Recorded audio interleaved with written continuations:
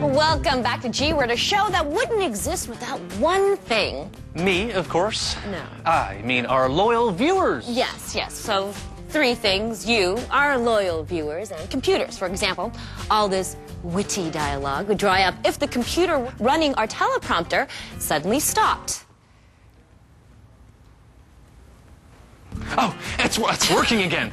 All right, well, what happens to those hundreds of millions of computers out there when they die? That's what our recycling expert Todd Sutton wanted to find out.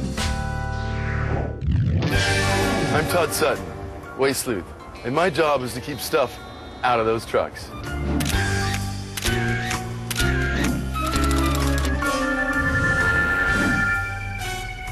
Hello, this is Todd.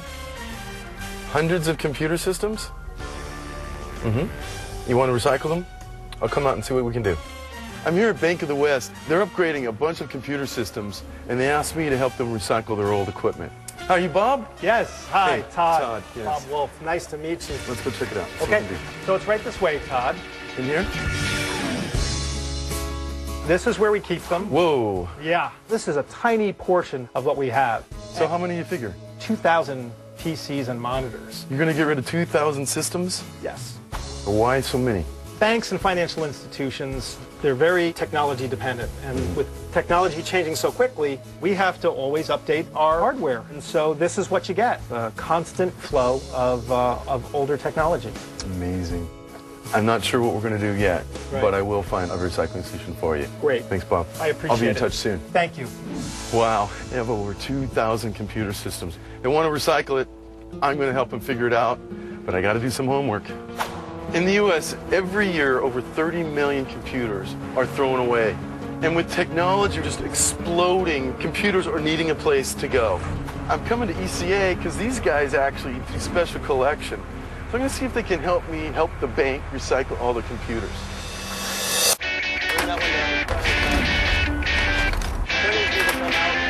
We take in all the equipment collected from all around Los Angeles and we bring it in here and we sort it.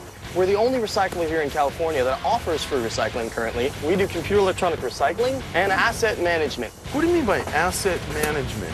Well, the best way to reuse something is in its original form. So the good equipment that, that comes in our facility, we will asset manage, and we do it by reusing it in society. The equipment comes in and we separate it to see what's reusable and what's just flat out needs to be recycled.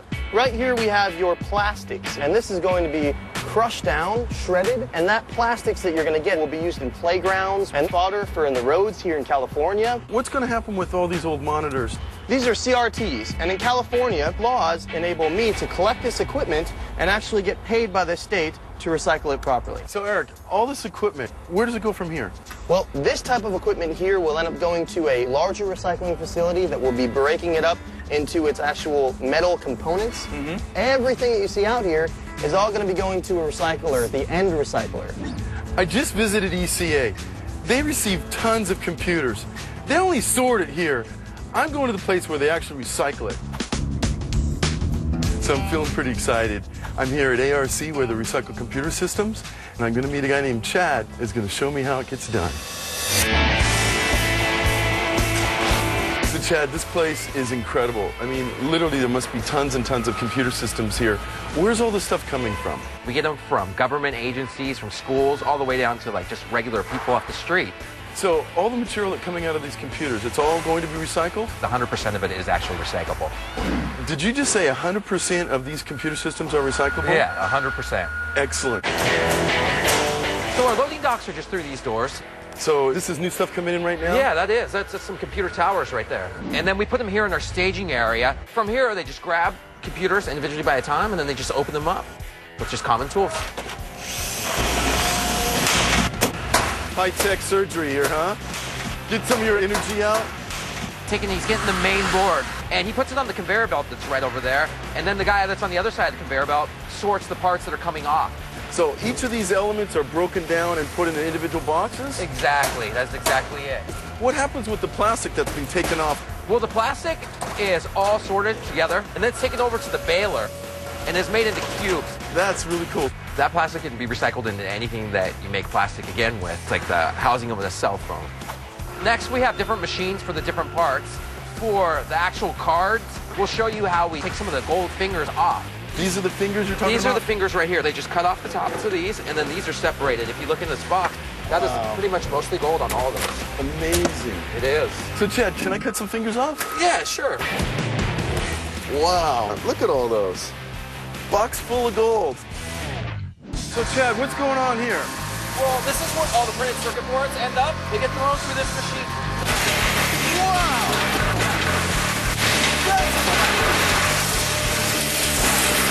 This is the final stop for the printed circuit boards. The boards are ground down, right, okay. into fine powder, and then anything that's ferrous can get separated by magnets, and then the other metal is by weight. Wow. Right here is our most powerful cable stripper. So they're putting in all the different cables in this machine. It goes up the conveyor belt, and then it is ground up into different components. It runs up and it's pulverized, so it comes into a fine type powder. And what the last part is, with all that shaking, that it's kind of like when they're panning for gold. It's all separated by its weight. So the copper, it's going to be the heaviest, so it goes to the far right. Plastic being the lightest, when it shakes, it kind of bounces up into the air. So uh-huh. that goes into the middle pile. That, that's kind of like magic. That thing is really cool. It is awesome. I just want to thank you. Really, really impressive. Oh, it was my pleasure. Now I know that the bank that I'm working with, all the computers are going to be recycled. In fact, they're going to be recycled into something like this. My phone. Gotta go. Here's a tip, by the way, if you're upgrading your computer, there are lots of places that will accept those older but still working models. Good news for you, Dan. I know, sometimes I need a bit of an upgrade.